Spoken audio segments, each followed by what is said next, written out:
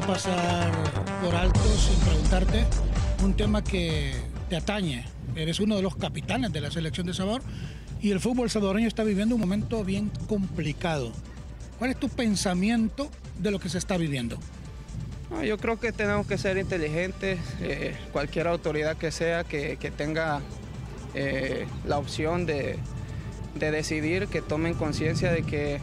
el perjudicado no es ni, ni, el gobierno ni la federación, el perjudicado siempre es el jugador y su familia. Entonces creo que tenemos que ser más conscientes de eso y tomar una solución que, beneficie prácticamente al jugador y su familia, que él es el, eh, el, artista, él es el, protagonista, ¿no? Entonces no tiene por qué otras autoridades tomar el protagonismo que no, no necesita. Nuestro deporte necesita un cambio y estamos claros que necesita un cambio, pero no de una manera que vaya a afectar al jugador, sino que de una manera que, venga a beneficio del jugador. Eh, siento que nuestros jugadores, pues obviamente siempre ha, sido sufrida la situación de nuestros jugadores en El Salvador porque eh, ya sea que no están los pagos al día, que los tratan eh, de la manera que, no, no, debe ser tratado,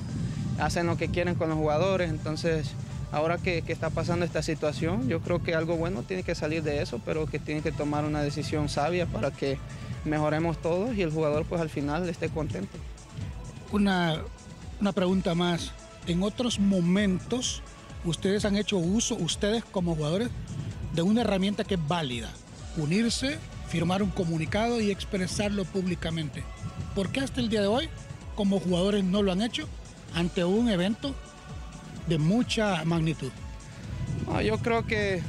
nosotros, yo pienso que mi manera de pensar, el, jugador no tiene por qué estarse metiendo en esa situación que sea, lo veo más políticamente, entre ego, entre dos personas, uno que, que, no quiere a este y el otro que por el mismo ego de él, que aunque no lo quieran, él siempre quiere estar ahí, entonces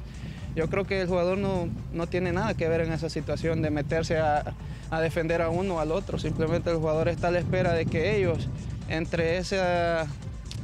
problemática que se está generando ahorita tomen una decisión que sea correcta, que sea la, más adecuada, que, sea, que se adapte a lo que es el jugador salvadoreño, a nuestra liga y que crezcamos todos, porque no puede el jugador venir a defender a uno o a otro. Es una situación que está lejos de, estar en control del jugador. el jugador no va a estar de acuerdo, obviamente, y no va a venir a expresarlo directamente porque sabes que siempre con el jugador en El Salvador siempre hacen lo que quieren. Entonces,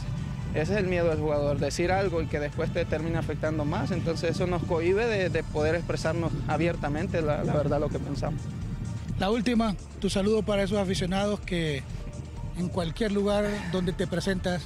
siempre hay una bandera del Salvador, claramente se entiende, apoyándote. Sí, agradecido, agradecido porque eh, la verdad siempre donde he ido hasta ahora, en todos los estados que he ido a jugar, siempre hay un compatriota ahí, siempre hay una bandera del Salvador y,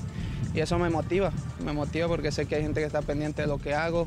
eh, de lo que hago con mi equipo, cómo me va y, bueno, la verdad que me llena mucho de alegría que, que me sigan en, lo que hago y, nada, siempre voy a tratar de dar lo mejor, que,